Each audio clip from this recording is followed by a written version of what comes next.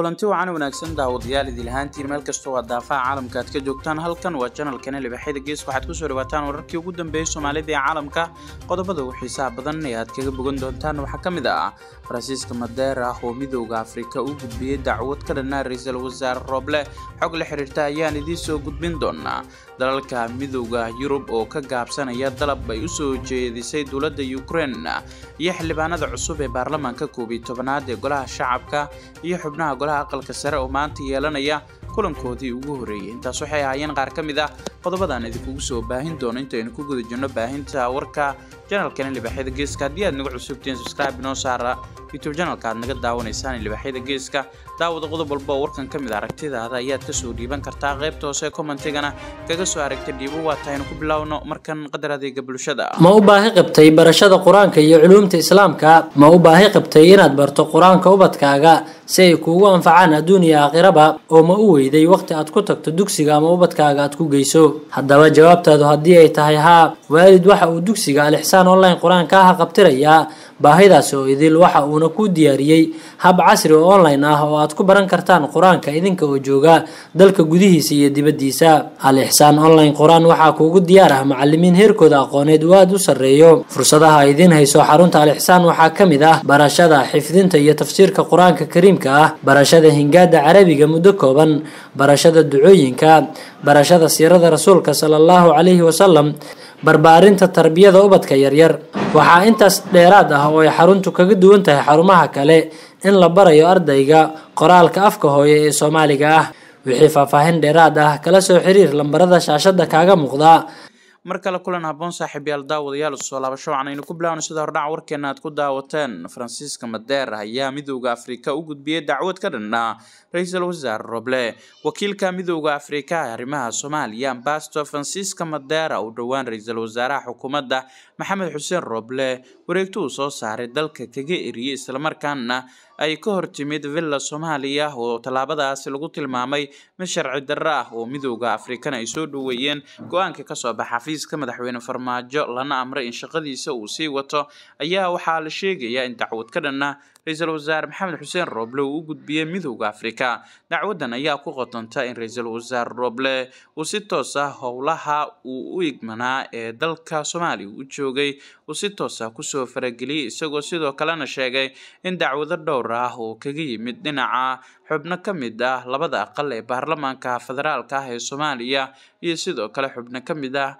madaxda maamul goboleedyada dalka loo soo gudbiyey. Su'aalana uu ka weydiiyey taasoo si weyn uga carooday siduu hadalka u dhigay. Warqadan loo gudbiyey guddoomiyaha midooda afrika ayaa lagu xusay in ambasador francisca madera uu dalabyo dhowr ah oo ra'iisul wasaare roble u soo gudbiyey uu ka biyadiiday taasina ay keentay in dalkan laga eriyo oo ugu dambeyn midooda afrika tallaabadaasi ay ku tilmaameen mid sharci darro ah ayna waafaqsan yihiin go'aankii ka soo baxa xafiiska madaxweynaha soomaaliya maxamed cabdilaahi maxamed farmaajo.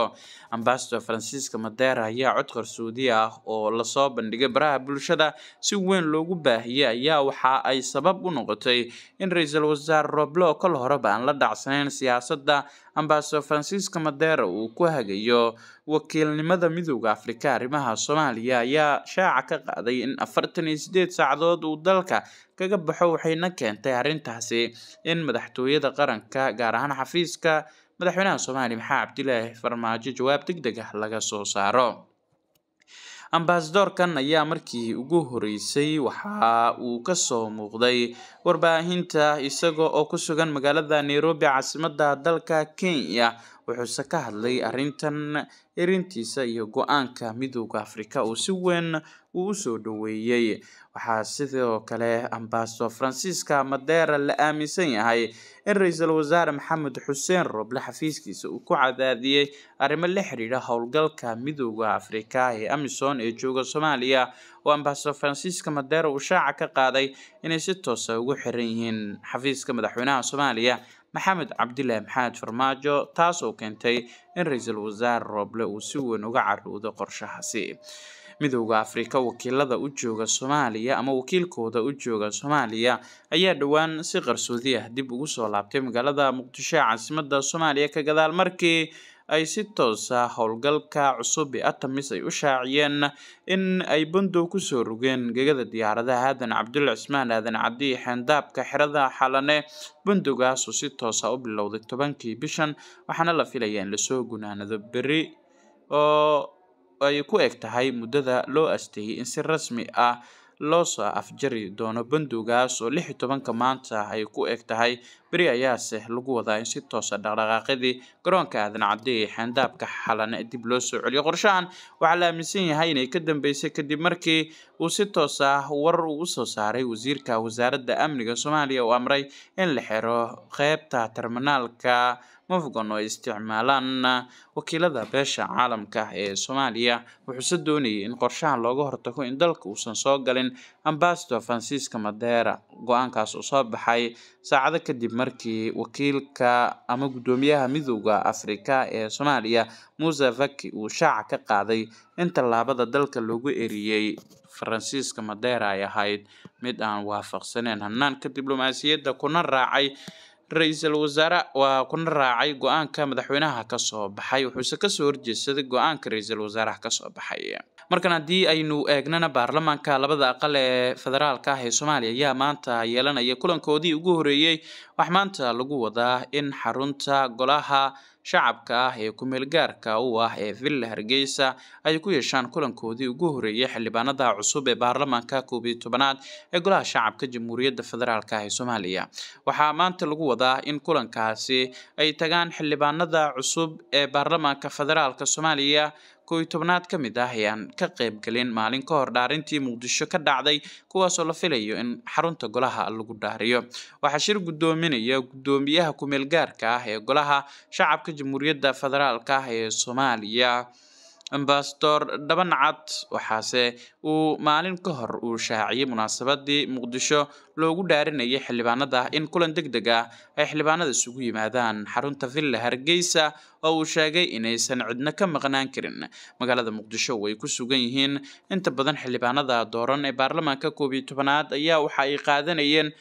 maalmihii ugu dambeysay shahaadooyinka ka mid noqoshada baarlamaanka koob iyo tobanaad ee golaha shacabka iyo golaha aqalka sare ee dalka. Geesta kalena waxaa lagu wadaa in isla golaha aqalka sare ee magaalada muqdisho ay ku yeeshaan xaruntooda kulankoodii ugu horeeyay uu shaaciyey guddoomiyaha ku-meel gaarka ah ee golahaasi oo ah odayga ugu da-da weyn ee golaha aqalka sare ee dalka gaagaab waxaana lagu wadaa in kulankan maanta sidoo kale ay si toos ah uga qayb galaan xildhibaanada golaha aqalka sare ee baarlamaanka federaalka ah ee soomaaliya.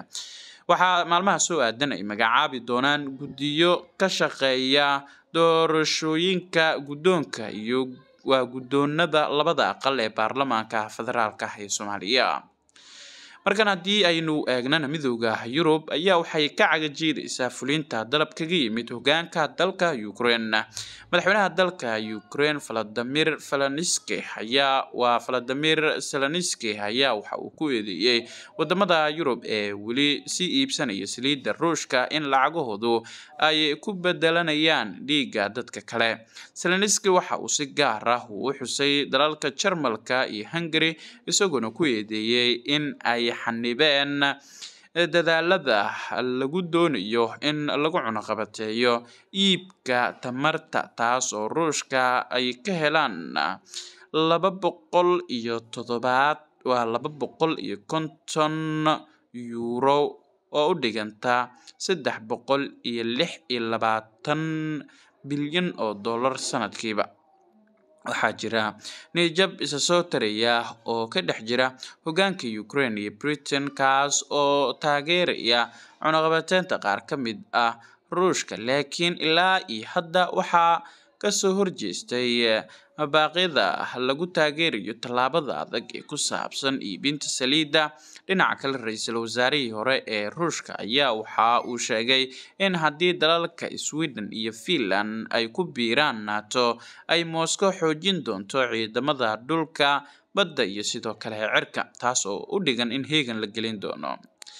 waxa uu hoosta ka xariiqay in hanjabaada ruushka aysan ahayn wax cusub mooskana ay yurub nuclear geysay magaalada la yidhaahdo kilingender ka hor dagaalka ukraine xaaladda ukraine ka jirta ee dagaalka ruushka uu ka wada ayaa dunida waxa ay ka soo saareen baaqiyo kala duwan. Waxaase ruushka u dhowaan dib u gurasho sameeyey iminkana uu u muuqdaa mid abaabul hor leh sameynaya. Saaxiibada qiimaha badan wararkii ugu dambeeyey soomaalida ee caalamka ah ee aad ka daawanayseen saaka janalkeena libaaxyada geeska waa aad ku mahadsantii daawashada warkan midkiisa xigeentooni dib u kulmi doono nabaadiina khiyaarey